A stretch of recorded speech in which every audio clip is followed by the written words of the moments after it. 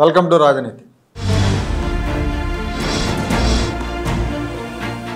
మొన్న మొన్నటి నుంచి ఒక రెండు మూడు రోజుల నుంచి తెలుగుదేశం పార్టీ సోషల్ మీడియాలో జగన్మోహన్ రెడ్డి మీద ఒక ట్రోలింగ్ నడుస్తూ ఉందండి. అదేంటంటే విజనరీ లీడర్ ఢిల్లీలో కేంద్ర మంత్రులను కలుస్తూ ఉంటే ప్రిజనరీ లీడర్ జగన్మోహన్ రెడ్డి నెల్లూరు జైల్లో ముద్దాయిలను కలుస్తున్నాడంటూ ట్రోల్ చేస్తూ ఉన్నారు. జగన్మోహన్ రెడ్డి గారిని అవహేళన చేస్తూ వాళ్ళు దాన్ని పెట్టారు. అయినా కూడా అందులో నూరు శాతం వాస్తవం ఉంది. ఒక ఫ్యాక్షన్ నాయకుడికి తను తన అనుచరుల ప్రయోజనాలే ముఖ్యంగా ఉంటాయి కానీ సమాజం లేకపోతే రాష్ట్రం ప్రాంత ప్రయోజనాలు వాళ్ళకి పట్టవు. అనుచరులు ఎన్ని తప్పులు చేసినా వెనకేసుకొని వస్తారు. ఒక ఫ్యాక్షనిస్ట్ పాలకుడైతే పరిపాలన కంటే ప్రతీకారానికే ప్రాధాన్యం ఇస్తాడు. రాజ్యాంగాన్ని చట్టాలని బేఖాతరు చేస్తూ పరిపాలన చేస్తాడు. ఇందుకు నిదర్శనమే ఈ ఎడుగురి సంధింటి జగన్మోహన్ రెడ్డి గారు. హిట్లర్కి కూడా అభిమానులు ఉన్నట్టే ఈ జగన్మోహన్ రెడ్డికి కూడా అభిమానులు ఉన్నారు. మొన్నటి ఎన్నికల్లో ముప్పై తొమ్మిది పాయింట్ నాలుగు శాతం ఓట్లు వచ్చాయంటే ఇతనికి ఈ అభిమానులే కారణం. అతను అడ్డంగా మాట్లాడతాడు అడ్డగోలుగా వ్యవహరిస్తాడని తెలిసినా కూడా అతనికి ఓట్లు వేశారంటే బహుశా ఈ ముప్పై తొమ్మిది శాతం మందిలో కూడా కొన్ని లక్షణాలు ఇలాంటి లక్షణాలు ఉండే ఉంటాయి. జగన్మోహన్ రెడ్డి గురించి ముఖ్యమంత్రిగా పనిచేసిన వైఎస్ రాజశేఖర రెడ్డి గారు జగన్మోహన్ రెడ్డి తండ్రి రాజశేఖర రెడ్డి గారు ముఖ్యమంత్రిగా చేసిన రోజుల్లో పిసిసి అధ్యక్షుడిగా ఉన్నప్పుడు విలేకరులతో ఒక విషయం చెప్తూ ఉండాడు పిసిసి అధ్యక్షుడు కాదు ముఖ్యమంత్రిగా ఉన్నప్పుడే చిట్చాట్లో ఏంటంటే మామూలుగా పిచ్చాపాటి కబుర్లాడుతూ ఈ జగన్మోహన్ రెడ్డి ప్రస్తావన వచ్చినప్పుడు జగన్మోహన్ రెడ్డి మొండితనం గురించి అంటే నెగిటివ్ కాదు ఆయన పాజిటివ్ కోణంలో అని చెప్పాడు ఆ విషయాన్ని. మొండితనం గురించి. చిన్నప్పుడు వీడికి పదేళ్ళ వయసు ఉన్నప్పుడు ఒక ఫ్రెండ్ ఇంటికి ఫ్యామిలీతో వెళ్ళాం మేమందరం వాళ్ళ ఇంట్లో ఇంతే వీడి వయసు ఉన్న అబ్బాయే ఒక అబ్బాయి ఉన్నాడు ఒక కుక్క పిల్లతో ఆడుకుంటా ఉన్నాడు వాళ్ళ కుక్క పిల్లతో. వీడు కూడా కొద్దిసేపు దాంతో ఆడుకున్నాడు. తిరిగి వెళ్ళే సందర్భంలో ఆ కుక్క పిల్ల నాకు కావాలని ఏడ్చి మారాన్ చేశాడంట జగన్మోహన్ రెడ్డి. ఏడుస్తూ ఉంటే నీకు ఇంకో కుక్క పిల్లని తీసుకొస్తానని జగన్మోహన్ రాజశేఖర రెడ్డి గారు ఎంత చెప్పినా కూడా ఇతను వినలేదంట. నాకు అదే కావాలి నాకు ఈ కుక్క పిల్లే కావాలని మంకు పట్టు బట్టి దాన్ని ఇచ్చేదాకా ఊరుకోలేదంట. అప్పట్లో ఆయన దీన్ని సరదాగా చెప్పినా పెద్దయ్యాక కూడా జగన్మోహన్ రెడ్డి బుద్ధి మారలేదు. సరికదా ఈ పిచ్చి ఇంకా ముదిరింది పెరిగింది. తాను పట్టిన కుందేలకు మూడే కాళ్ళు అన్నట్టుగా వ్యవహరిస్తూ ఉంటాడు ఈయన. ముఖ్యమంత్రి అయ్యాక కూడా తన తీరు మార్చుకోలేదు. ఒక్క ఛాన్స్ పేరుతో ప్రజలను మభ్యపెట్టాడు ఘన విజయం సాధించాడు. కానీ ఐదేళ్ళలో ప్రజల ఆశలు వమ్ము చేశారు ఘోర పరాజయం పాలయ్యాడు. కానీ ఈయన అధికారంలోకి వచ్చాక రెండు వేల పంతొమ్మిది ఇరవై నాలుగు మధ్యలో అరాచకం సృష్టించాడు. సాధారణంగా నాయకుడు అనేవాడు కింది స్థాయిలో తప్పులు చేసే వాళ్ళని కంట్రోల్ చేస్తాడు. కింది స్థాయి నాయకులు ఎవరైనా తప్పులు చేస్తే కంట్రోల్ చేయాలి. అది నాయకుడి బాధ్యత. రెండు వేల పద్నాలుగు వరకు రాష్ట్రంలో మనం అలాంటి నాయక అలాంటి నాయకులనే చూసాం. మన కర్మ కొద్దీ పద్నాలుగు తర్వాత ఈ జగన్మోహన్ రెడ్డి గారి పార్టీ పెట్టడం ప్రతిపక్ష నాయకుడు కావటం అప్పటి నుంచే ఒక పథకం ప్రకారం ప్రతిపక్షంలో ఉండగానే విధ్వంసాలకు ప్రణాళికలు రచించడం ఇవన్నీ చూసాం కాపు రిజర్వేషన్ పేరుతో తుల్లో రైలు దహనం చేయించారు. రాయలసీమ రౌడీలే ఈ పనికి పాల్పడ్డారని ఇంటెలిజెన్స్ వర్గాలు నివేదిక ఇచ్చినాయి. రాజధానిలో అరటి తోటలు తగలబెట్టించాడు. అరటి తోటలు తగలబెట్టినందుకు ఆకతాయిగా తిరిగే నందిగాం సురేష్ని ఎంపీని చేశాడు. బాపట్ల ఎంపీ టికెట్ ఇచ్చాడు అతనికి. అంటే ఒక క్రైమ్ చేసిన వాడికి పదవులు ఇవ్వటం అప్పటి నుంచే మొదలుపెట్టాడు. ఆ తర్వాత చాలా ఇన్సిడెంట్లు చూసాం మనం. చంద్రబాబు మీద నోరు బారేసుకున్న వాళ్ళకి మంత్రి పదవులు ఇచ్చాడు. కొంతమంది నాయకులు అయితే కొంతమంది వైసీపీ ఎమ్మెల్యేలు అయితే కేవలం మంత్రి పదవుల కోసమే చంద్రబాబును తిట్టి జగన్ను మెప్పించాలని చూశారు. అంటే చూడండి జగన్ మనస్తత్వం ఎలా ఉంటుందో ఆ మనస్తత్వాన్ని వాళ్ళు రీడ్ చేశారు. ఆ మనస్తత్వాన్ని చదివేసి దానికి తగ్గట్టే రెచ్చిపోవటం మొదలుపెట్టారనమాట స్థానిక ఎన్నికల్లో మాచర్లలో ఒక ఉదాహరణ. తెలుగుదేశం పార్టీ నాయకులు బోండా ఉమ బుద్ధా వెంకన్న వీళ్ళ మీద అటాక్ చేశాడు కదా అప్పట్లో. మనం అందరం చూసాం ఆ తురక కిషోర్ అనేవాడు. అతనికి మున్సిపల్ చైర్మన్ పదవి ఇచ్చాడు ఆ పని చేసినందుకు.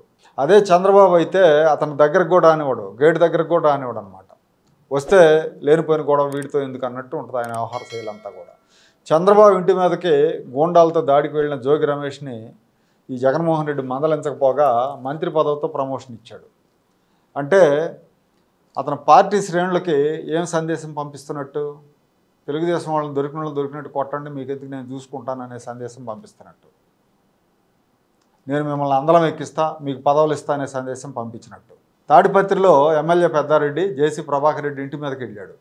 ఇంటి మీదకి వెళ్ళటమే కాదు రాయలసీమలో మామూలుగా దాడులు చేసుకుంటారు కానీ ప్రత్యర్థి పార్టీ నాయకుడు ఇంటి మీదకి వెళ్ళటం అనేది పెద్దగా జరగవు అలాంటి సంఘటనలు. కానీ ఈయన ఇంటి మీదకి వెళ్ళాడు. ఇంట్లోకి వెళ్ళి నేరుగా ప్రభాకర్ రెడ్డి గారు కూర్చునే కుర్చీలో కూర్చున్నాడు ఈయన.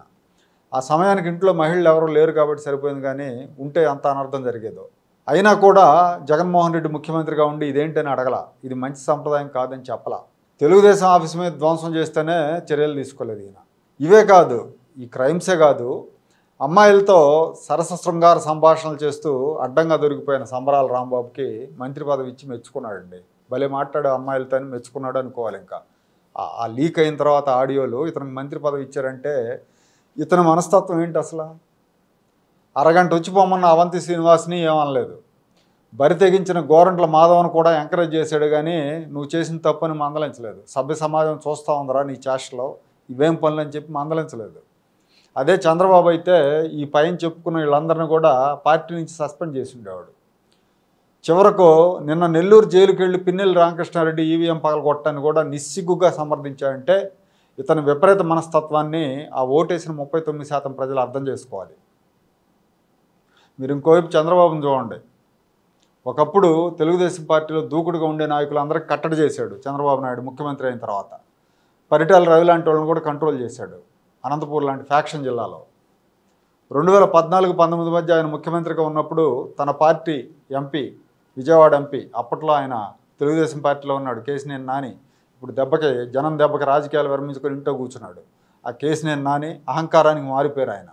బోండా ఉమ్మ ఎమ్మెల్యే ఇప్పుడు కూడా Telugudesam central MLA Vijayawada central MLA. వీళ్ళిద్దరూ అప్పుడు ట్రాన్స్పోర్ట్ కమిషనర్గా బాలసుబ్రహ్మణ్యం గారు ఉన్నారు ఐపీఎస్ అధికారి. ఆయన చాలా సిన్సియర్ ఆఫీసరు ఆయన మీదకి వెళ్ళి ఇష్టం వచ్చినట్టు నోరు బారేసుకున్నారు వాళ్ళు.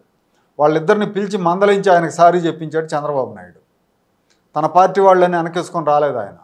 అట్లాగే ఎంఆర్ వనజాక్షి నాటకాలు నమ్మి చింతనేని ప్రభాకర్ని మందలించాడు ఆయన.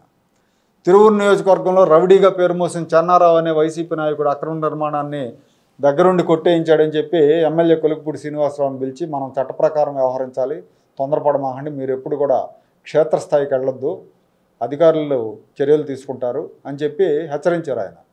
మంత్రి రాంప్రసాద్ రెడ్డి భార్య ఎస్ఐ మీద ఆగ్రహం వ్యక్తం చేసిందని ఇలాంటి పనులు మళ్ళీ చేయొద్దని చెప్పాడు. వాస్తవానికి ఆ రోజు ఏం జరిగిందంటే రాంప్రసాద్ రెడ్డి మంత్రి ఆయన నియోజకవర్గంలో లేడు వేరే పని మీద బయట ఉన్నాడు. సో ఆయన తరపున నియోజకవర్గంలో పెన్షన్లు పంపిణీ చేసేందుకు ఆవిడ వెళ్ళారు ఆయన భార్య వెళ్ళారు. అధికారిక కార్యక్రమం అది. ఆ కార్యక్రమానికి అటెండ్ కావాల్సిన ఎస్ఐ ఆలస్యంగా వచ్చాడు. దాన్ని ఆవిడ ప్రశ్నించారు. అది కూడా చంద్రబాబు సహించలా. అంటే సిస్టమ్స్ని రూల్స్ని డెమోక్రసీని ఆయన ఎంతగా గౌరవిస్తారో అర్థం చేసుకోవాలి. అలాంటి నాయకుడు పాలకుడుగా ఉంటేనే రాష్ట్రం భద్రంగా ఉంటుంది.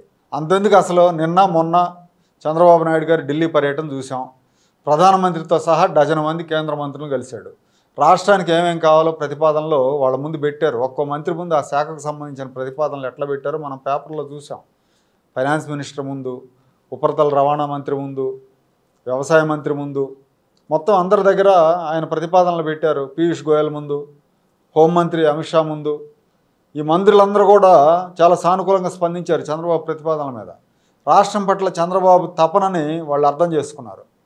ఆర్థిక సంఘం చైర్మన్ పదహారు ఆర్థిక సంఘం చైర్మన్ రాజీవ్ పనగరియా అయితే చంద్రబాబు నాయుడు ఆంధ్రప్రదేశ్కే కాదు దేశానికి కూడా విజనరీ. ఆయన మా కార్యాలయానికి రావడం మాకు గర్వంగా ఉందని చెప్పి అన్నారు ఆయన. ఇదే జగన్మోహన్ రెడ్డి రెండు వేల పంతొమ్మిది ఇరవై నాలుగు మధ్యలో ముఖ్యమంత్రిగా ఉండగా ఏడాదికి ఐదారు సార్లు ఢిల్లీ వెళ్ళాడు. వెళ్ళినప్పుడల్లా ప్రధానమంత్రిని కలిశాడు. అడపాదడపా కేంద్ర మంత్రులు కూడా కలిశాడు. వాళ్ళకి శాలువాలు కప్పాడు. తిరుపతి శ్రీవారి బొమ్మలు ఇచ్చారు. తిరుపతి లడ్డులు ఇచ్చాడు. ఇవి చేయటం మినహా రాష్ట్రానికి ఏం అడిగాడు అనేది ఎప్పుడు కూడా ఆయన పర్యటనల సందర్భంగా స్పష్టంగా చెప్పలా. ఏ మీడియాకి చెప్పలా. ఆయన ఆయన తమ్ముడు అవినాష్ రెడ్డి వాళ్ళ కేసుల గురించే కలిశాడని వార్తలు మాత్రం విరివిగా ప్రచారంలో ఉండేవి. మంత్రులతో మాట్లాడాలన్నా కూడా శాఖపరమైన అంశాల మీద పట్టు ఉండాలి. ఈ జగన్మోహన్ రెడ్డికి ఆ పట్టు లేదు. అంత డెప్త్ లేదు. అందుకే ఆయన్ని ఢిల్లీలో కూడా పెద్దగా ఎవరు పట్టించుకునేవాళ్ళు కాదు. వచ్చాడా కలిశాడా వెళ్ళాడా అన్నట్టు ఉండేవాళ్ళు. ఒక పాలకుడు ప్రతిభావంతుడైతే ఆ రాష్ట్రం అభివృద్ధి చెందడమే కాదు రాష్ట్రానికి గుర్తింపు కూడా వస్తుందంట నిదర్శనం చంద్రబాబు నాయుడు.